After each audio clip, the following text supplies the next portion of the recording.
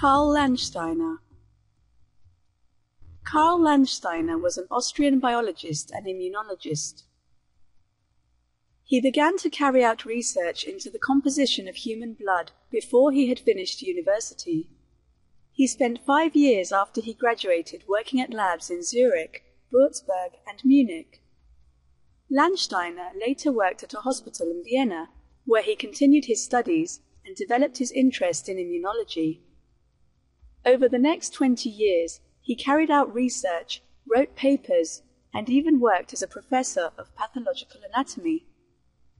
He contributed to many different areas of immunology, but the one he is most famous for is his discovery of blood groups in 1901, which he later won the Nobel Prize for in 1930.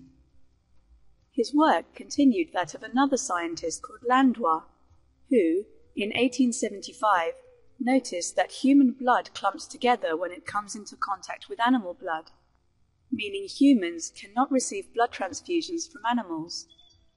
However, Landsteiner pointed out that this same reaction can happen when blood is transferred from one human to another.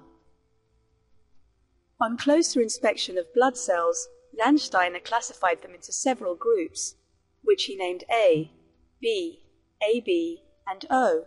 These groups are named based on antigens present on the surface of the blood cell and antibodies present in the blood.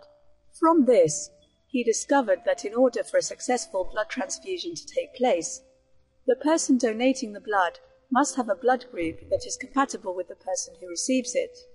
Today, Karl Landsteiner's work saves millions of lives each year.